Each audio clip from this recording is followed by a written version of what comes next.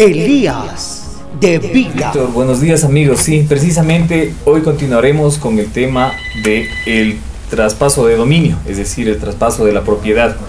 Dentro de, esto, de este tema trataremos, abordaremos precisamente eh, dos modos de adquirir el dominio que son la accesión y la tradición. Sí, la tradición si es que el tiempo nos lo permite.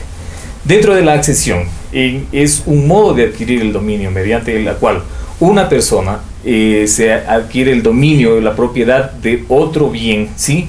Eh, que son en este caso pueden ser los frutos, los frutos eh, de una cosa, los frutos que produce una heredad, una propiedad. Entonces lo que devienen estos frutos pueden ser civiles o pueden ser naturales. En el caso de, de, los, de los bienes naturales, ¿cuáles son? Son los que la naturaleza produce. Independiente si es que esta, la naturaleza produce estos bienes con ayuda o sin ayuda de la industria humana. Eh, les voy a poner un ejemplo. El hecho de que una persona tenga una plantación de cualquier tipo de frutos, eh, por supuesto que es una industria humana, ¿sí? pero es la naturaleza la que produce estos frutos. En ese evento, esta, esta, digamos, esta accesión, esta accesión es lógico que los, los dueños de los frutos son los dueños de la plantación, los dueños del terreno. Eso también se subsume para el caso de qué? Para el caso de eh, una heredad donde existen bienes, eh, donde existen árboles, plantaciones, cuestiones de, cosecha, ¿sí? En ese, en ese evento, miren ustedes, la, la accesión, cómo, cómo eh, se llega a adquirir el dominio. Hay otros tipos de accesiones también, pero la accesión no solamente son la cuestión de los frutos, sino también lo que se adhiere a la, a la propiedad. Y en este caso, miren ustedes, también puede darse eh, una situación que se denomina el aluvión. ¿Qué es el aluvión? En una propiedad, de una propiedad inmueble, un bien raíz, una finca, precisamente en un terreno que tiene como lindero una, una ribera, puede ser un río, puede ser inclusive la orilla, la orilla del mar. En este caso, eh, por el lento desplazamiento de las aguas y el, cauce, ¿sí? El cauce se separa, se separa de, la heredad de la orilla y va incrementando eh, la superficie. Esto se denomina aluvión.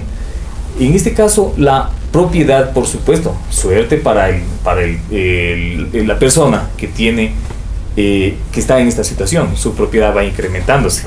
Otra se da la adjunción en este caso, ¿cuándo se da la función? En este caso, pero en el caso de bienes muebles, cuando un bien es de una persona y otro bien es de otra persona y entre los dos forman un solo cuerpo. Dependiendo en este caso hay ciertas particularidades cuando el uno bien tiene más valor de otro, eh, al, al, que se junta como ser, podría ser el marco a un espejo, de quién es el objeto de quién es el objeto. Podría ser del dueño del espejo, del dueño del marco. En esto hay que ver varias, varias particularidades. ¿Cuál de los dos tiene mayor valor? Hay, veces en que el espejo tiene más valor que el, mar, que el marco, o viceversa, el marco tiene más valor que el espejo. O también podría ser un anillo. Eh, si es que el anillo eh, se le incrusta una piedra que eh, son de diferente dueño. ¿De quién es el anillo? Hay que ver estas consideraciones. En principio, el valor sentimental. Segundo, el valor material. ¿Sí? El valor material. De a quién pertenece eh, eh, el bien. Si es que es al dueño de, la, de, lo, de, la, de, lo, que cuesta más o de lo que cuesta menos.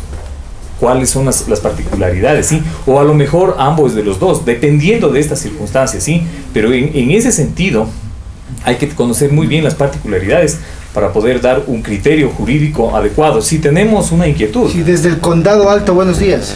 Buenos días. Buenos días. Disculpe mi inquietud es verano. ¿Qué pasa? Que mi suegra quedó viuda y tiene un lotecito de unos 400 y pico de metros y, nos dio, ah, no repartió, como le digo ahorita, dice que como ya está mayor, que todos los hijos estén ahí, que hagan sus casas. Ya. Son pedacitos de lote cada uno. ¿Cómo podemos hacer para hacer eh, un una escritura o una nota de compra y venta o alguna cosa para que conste que ya es de nosotros. En este caso hay una situación que solamente se puede hablar de herencia el momento en que la persona fallece. Pero si bien es cierto, usted dice que su suegra se quedó viuda, eso implica, o por lo menos vamos a asumir que el terreno era ya de las dos, digamos, de la sociedad conyugal que tenía su suegra con el esposo. Ya hay una situación de herencia, ¿Cuál? La herencia de su, suegro. Esto es, el momento en que su suegro fallece, este bien que ellos tienen, este bien se divide en dos. El 50% corresponde a su suegra vía gananciales dentro de la sociedad conyugal que mantenía con su difunto suegro. El otro 50% habría que ver y después de haber hecho los pagos que se deben hacer por cuestiones de mortuoria, cuestiones de eh, todos los trámites que tengan que ver con, la, con, con el fallecimiento de una persona, ¿sí? En, ese evento el, eh, queda un acervo. De ese acervo hay que ver si es que el cónyuge superviviente tiene o no los medios suficientes para poderse mantener. Caso contrario, tendría derecho, ¿sí? Por eh, la porción conyugal. Y esto sí se reparte dentro de, de, los bienes de la sucesión. La porción conyugal, ¿sí? Que equivaldría más o menos a una cuarta parte, dependiendo de ciertas circunstancias, ¿sí? Eh, el otro, el acervo líquido, eso es lo que se divide en los herederos, pero en el evento, en el evento de que en este caso, como en este caso ya existe una herencia. Ahora, ¿qué es lo que podrían hacer? Ese derecho ya lo tienen los herederos, es decir, su esposo, porque estamos hablando de sus suegros. Su esposo ya tiene ese derecho. En el, en el, otro evento, lo que yo le aconsejaría a su suegra es no hacer una simulación de actos jurídicos que se simula una compra-venta. Porque dice, ah, te voy a dar como, como que te vendo, porque vía herencia no es imposible dar en vida. Las herencias en vida no existen. Existen simulaciones de actos jurídicos que vienen, que, de, vienen en qué? En compraventa, en donación, etcétera, etcétera. Lo que se podría hacer en este caso es un testamento. Un, esta, un testamento apegado a derecho, apegado a la ley, en el que se respetan todas la, las normativas legales que tienen que ver con, con las eh, legítimas de rigor. En este caso existen legitimarios hay, heredades, hay, digamos, hay herencias en las que no existen legitimarios. ¿Cuáles son los legitimarios? Los legitimarios son los hijos, los hijos y los ascendientes. En este caso, los ascendientes de grado más próximo, es decir, los padres. Hay una situación, eh, cuando existen legitimarios, el, el, que deja el testamento no puede dejar de, de observar y reconocer el derecho que ellos tienen, ¿sí? Cuando se deja solo a legitimarios, a los legitimarios se les puede dejar inclusive todo, absolutamente todo, es decir, la mitad, la cuarta de mejoras y la cuarta de libre disposición.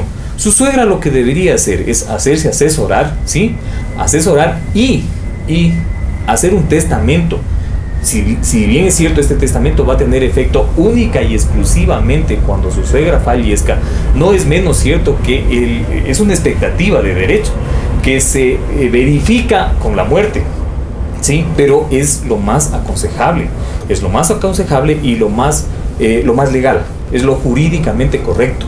Es decir, si es que no hay otro medio de transmitir el dominio, precisamente lo que estamos hablando, porque la sucesión por causa de muerte es otro de los modos de adquirir el dominio. Y en este caso podría ser una tradición, pero que había a título de qué? A título de compra-venta, a título de donación, etcétera, etcétera. Pero siempre y cuando no se dé una simulación de actos jurídicos. Hay personas que los hacen.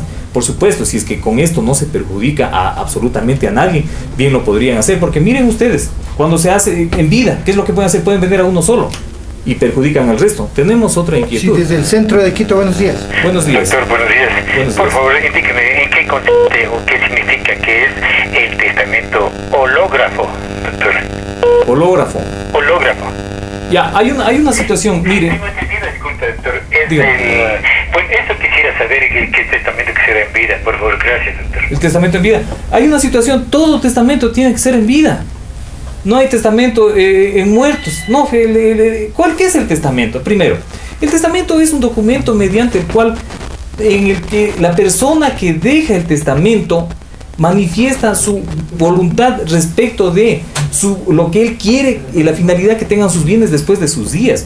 En consecuencia, este testamento necesariamente tiene que ser dado por la persona por el que tiene la propiedad. Y para esto no hay edad, ¿sí? Lo puede hacer cualquier persona. Cualquier persona, porque no es que solamente las personas mayores de edad son las que se mueren. Tenemos otra inquietud. Sí, desde Sangolquí, buenos días. Buenos días. Doctor, buenos días.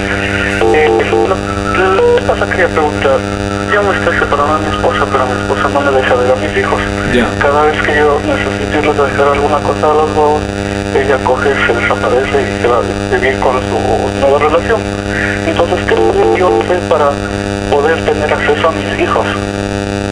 hay una situación. Mire, esta, todas estas situaciones son reguladas.